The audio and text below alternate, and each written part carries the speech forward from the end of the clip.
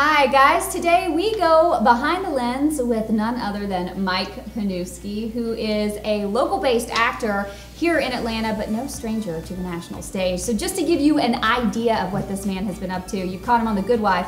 Necessary Roughness, Devious Maids, Reckless, Million Dollar Arm, to name like a, a very, very, Very few. small few, just a couple. Is it 30 years now experience? Uh, 31 years, yeah. Wow. 31 years in the market. Well, Mike, welcome, Thank you. welcome, Thanks for welcome. having me. Thank you very much. Yes, thank you for being here. You actually grew up in LA Mm-hmm. from Los Angeles and you moved to Atlanta. So I tell did. us a little bit about that story and how you ended up here. Uh, well, um, I married a Southern girl, Oh, yeah. and Hey, uh, that changes that changes everything. When we got together, um, we had some pretty definitive ideas about how we wanted to raise a family and all, and we decided that we didn't want to raise kids in LA. I mean, moving from LA was not a business decision. In fact, you know, some people I know thought it was a pretty stupid business decision, but it wasn't about business. It was about personal life and family and quality of life more than anything. You, though, are not held back by this Atlanta market. You Uh, no. are true. everywhere. Yes. How I'm a did very you lucky make guy. that happen? Uh, that was a pretty. It was a lot of work. Yeah.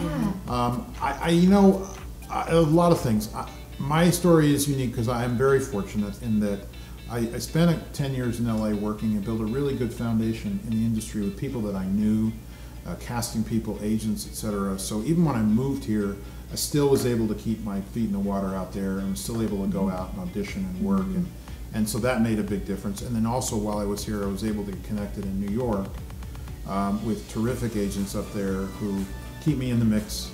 And then what I also had to do was I had to set it up so I could travel, and I could travel on a moment's notice because the only way this whole thing works is if, in my case, uh, my commitment to my agents is I can be anywhere you need me to be in 24 hours.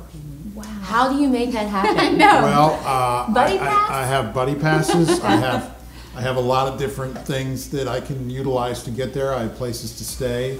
Um, I thought you were going to say, and that private jet I have is helpful. no, I don't. No, uh, you know, I, I don't do it by myself. And of course, my wonderful wife and my family has been incredibly supportive with this because, you know, all of that keeps me uh, into the industry at a level which has been very productive for a long time.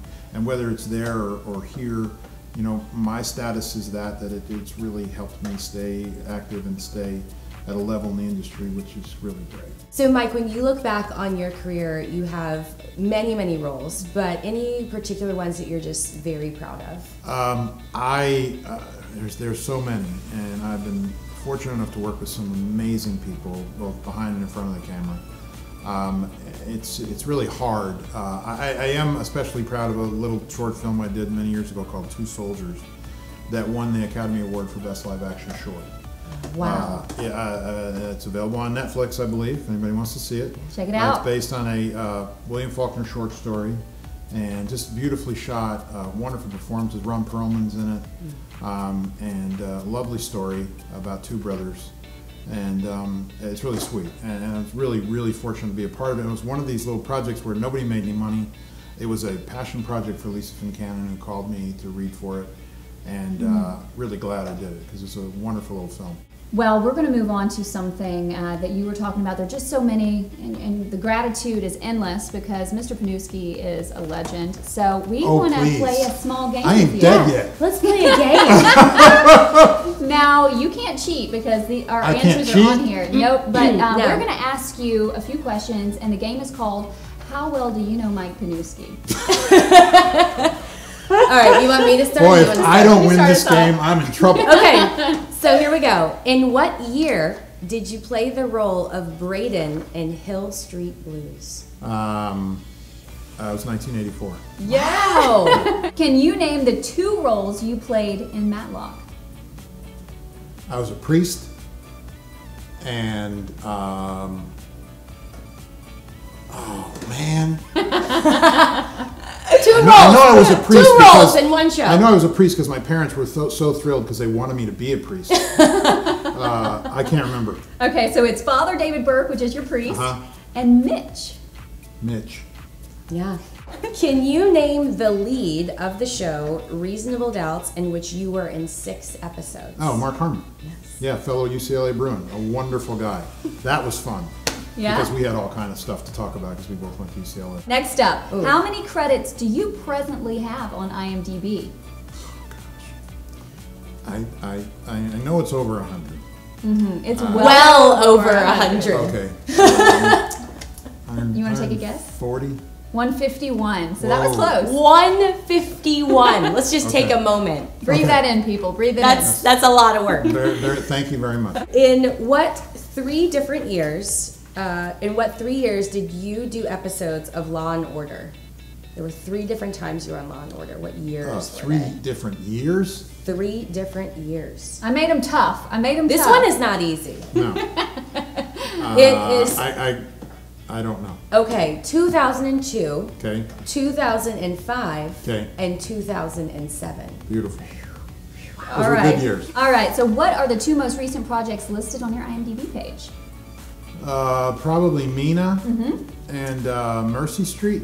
Yes. Well, I'm going to give you that one because they're all and the founder. Yes. Oh yeah, and the founder. Yes, the founder. So Michael tell Keaton. us a little Yes. bit about Mena and the founders. Since I mean, I know they were pretty big productions. Uh, that were- yeah, were uh, shooting. Mena's uh, Tom Cruise. Mm-hmm. uh, a very interesting story based on a true story about a guy who was a pilot, who was a commercial pilot, and then ended up working for the CIA, and then he ended up double dipping, working for the CIA as well as running drugs back from Central America. And the whole movie sort of culminates with the plane crash that exposed the whole Iran Contra mess. So it's a it's a really interesting story. How many episodes were you on The Good Wife? Or have you done? Uh, I think I just did my eleventh. oh, We don't We- even know that. Wrong. boom! He just took us. We had ten, Oh yeah. but we didn't even know about 11. I just did one uh, last month. Now it's 11. And I'm going back in a couple weeks. It's amazing. You know, you Soon to be twelve. They're lovely. Oh man, they're so cool people. Uh, just- And that's a good It's a show. great Yes. It's great a great set show. to work on. What's Very- it like on that nice. set? It's wonderful. Uh, I mean, the material's great. Uh, the material's always so good. Uh, and the actors are always so good. And, and that's one of the things that uh, I think helps me is that when you're in those environments, when you're working with people at the top of their game, it just makes you better. Yeah. Uh, and they're just such great people. I spend most of my time working with Alan Cumming and Julianna, and they're just great. They're just really great people to work with. Got one more for you. Okay. On what show did you play Tommy Donegan? Um, uh, Franklin and Bash. Yes. Yes. I think you know Mike Pniewski pretty well. I hope so. Actually, That, was, yeah. that was funny because they, they, they, uh, they never, they, and they admitted they never would have thought of me for that role as the philandering airline pilot.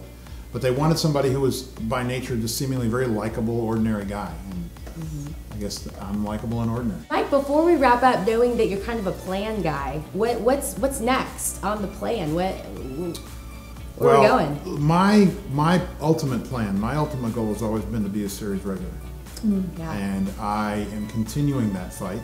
Mm-hmm. Uh, 31 years in, uh, and uh, so that, that's my plan. Eventually, to get to that point and have a regular gig on hopefully a lovely show, and um, that's that's uh, you know I feel like I feel like as much as I've been able to do, and I'm incredibly grateful for that. I, I still haven't hit the point where I want to hit yet. I still feel like my best days are ahead of me, and um, I want to get that regular gig. So that's that's what I'm going for. Mike, thank you so much for being here today. We Well, just thank you really, for having me. really I appreciate it. appreciate This was fun. And make sure to check out Mike Pniewski on Madam Secretary. Yes, coming out in coming. Madam September. Secretary in September, The Good Wife, and uh, yeah. And then also the founder, Blue Bloods Nina, also. Blue will be Bloods. coming up. Tell us Uh, about Blue Bloods. Yes. Blue Bloods, I'm going back there next week. Um, I- it's a really fun character I play. He's the head of the U.S. Marshal Service. Not a very nice guy, uh, but it's just too fun. Um, and yeah, I'm going back. So Great. Well, you can say.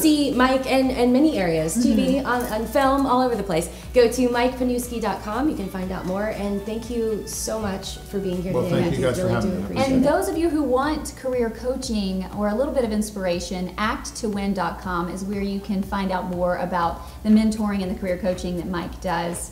Um, I'm Beth Heener. And I'm Greer Howard, and thank you for going with us behind the lens.